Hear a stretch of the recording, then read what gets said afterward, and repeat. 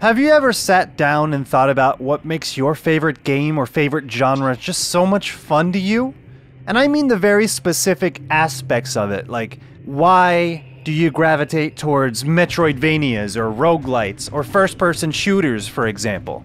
What are the aspects of that specific genre or a specific game in that genre that draws you to it over and over again?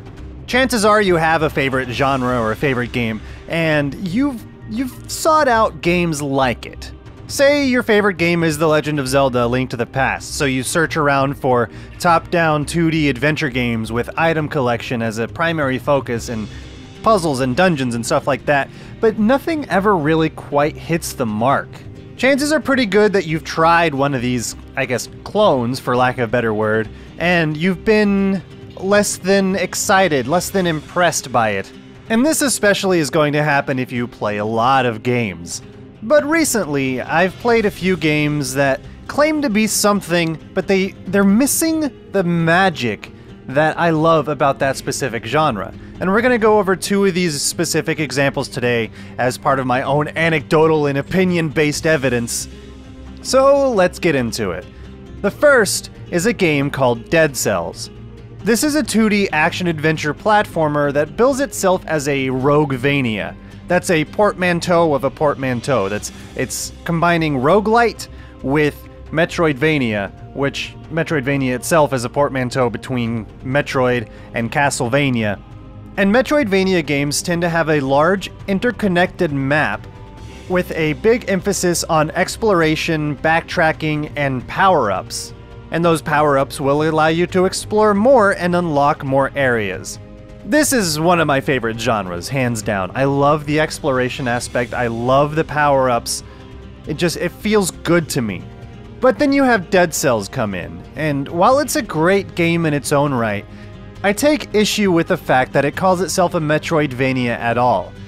And that's because of the other half of this weird combination of genres, the roguelite, which tends to have permadeath aspects, and while it, it can increase your power from run to run, the permadeath aspect is meant to start you from the beginning with little to nothing to go off of.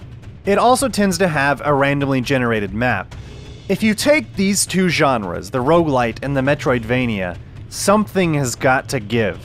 You can't have something that's primarily exploration based with backtrack and lots of permanent upgrades that increase your movement and power throughout the game, and then something that introduces permadeath and procedurally generated maps and power resets every time you die. They don't work together, so you've got to make sacrifices in one or the other. And I think because of the way these two genres work, the roguelite aspects get precedent here. You can't take away the procedurally generated maps and the permadeath while still being able to maintain the label of roguelite. So, what Dead Cells has done is they've gotten rid of the large interconnected world.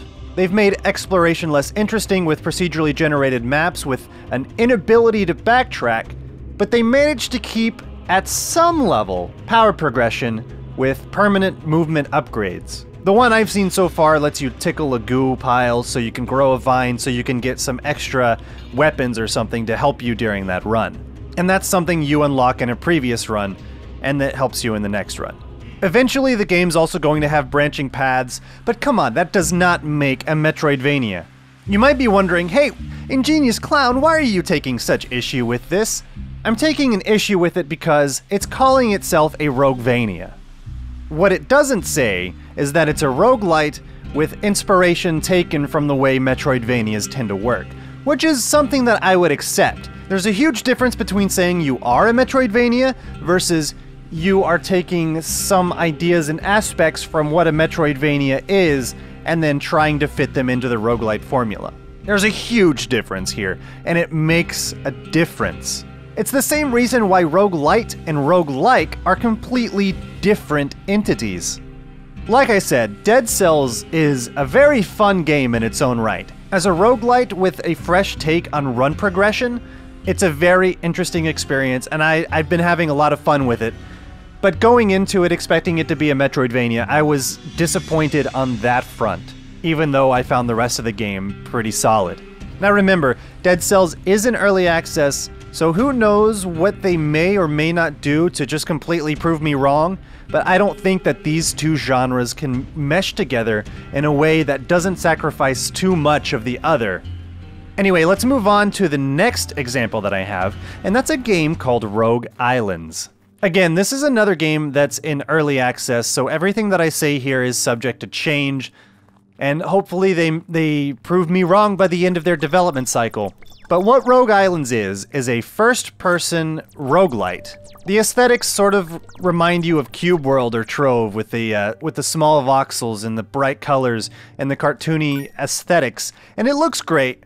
It plays pretty well. It's got some interesting quests and an interesting premise, and a pretty interesting world, and some pretty interesting gameplay. But here's my issue with it. It's a roguelite, but each run doesn't feel distinct. Now here's the thing. A roguelite can mean many, many things. The subgenre was popularized whenever The Binding of Isaac went just super viral, and ever since then, people have been obsessed with the permadeath and the crazy upgrades and stuff like that. So there's been so many of them that have been popping up ever since The Binding of Isaac got hugely popular. And this is no different. And I, I'm not I'm not saying that's a bad thing, because the more games we have, the better, as long as they're not like half-assed crap like what Digital Homicide would churn out on a daily basis. But I digress. More games, good. Roguelite or not, good. It feels like a lot of people are taking the roguelite aspects, especially the permadeath and procedurally generated maps, tossing it into a game and calling it a roguelite, without understanding what made the Binding of Isaac so much fun. Here's the problem that currently Rogue Islands is having for me. I've already mentioned that each run in Rogue Islands doesn't feel distinct. Sure, you can die and you start over with nothing, which means you have to re-level up your spells, but you can re-level up your spells in a different order or with different priorities, but that's a decision that's based solely on you. So far as I've seen, there are there aren't any crazy items to change the way you play, or change your jump height, or reduce fall damage, or make you run faster, or or give you temporary spells, or anything like that. There's nothing to make each run completely different other than the fact that each island is completely different. And at that point, it's just like No Man's Sky. One of the reasons No Man's Sky was a joke whenever it came out is because the gameplay never expanded past your first one or two hours of the game. It never changed, it never got more complex, it never got more interesting, it never got wild, it never got crazy. It just was, and it coasted on that. And so far, Rogue Islands has that problem for me. Binding of Isaac, on the other hand, your entire run can feel completely different by the time you enter the first item room. You might bomb a tinted rock, you get a small rock that increases your damage by a pretty significant amount at that stage of the game, and suddenly you're just plowing through that first floor and you can have a much easier time with the boss than you might have had otherwise. Or you go into the first item room and you end up with Tech X, which lets you lets you fire a circular laser beam that will just destroy enemies in its path, and that will also change the way that you play in a significant manner. These are the kinds of crazy things that makes the game so wildly replayable. It's the reason why it got popular. It managed to find the right formula with the right order of operations. And again, like I said, the game is still in early access, and who knows what they're going to be changing in the future. I I hope for their sake, and I guess for all the people who buy its sake, because you know more fun games is always good. That they eventually come up with a way to make the game more interesting from run to run. Because as it is right now, it's just a single player adventure game with permadeath, and that's too bad. It could be so much more. But like I said, we'll see what comes out of it in the coming months. But that thing that I said about the right formula with the right order of operations, that can go with any game. Any game that you can say is your favorite, or any genre that you are particularly drawn to. While there is no one single formula or one single order of operations, if you're going to be inspired by a specific genre, you need to be able to pinpoint the exact reasons why you yourself want to make a game in that genre. What is it that you want to see? What is it that as a player you would have a problem with? What was what is it as a player will keep you coming back over and over again to face these challenges. But you know what? At the end of the day, everything in this video is completely opinion based. There are probably people who have played Rogue Islands and think it's probably the best thing ever because it doesn't have that crazy randomness of some of my favorite roguelite games. That's just the way it is, and it all really depends on the developer and what their goals are. Anyway, I'd love to hear what you guys think in the comment section below, so please don't hold back. Am I being ridiculous? Or do you agree? And let me go ahead and apologize for the lack of videos lately. I've uh, I've been taking on way too many projects all at once, and it's like it's it's holding me down. But I promise we'll get some really interesting stuff sometime soon. Anyway, that's gonna do it for this video. Like I said, leave your thoughts and opinions in the comment section below, and like the video if you liked it, dislike the video if you hated it, and don't forget to follow me at IngeniousClown on Twitter if you use Twitter.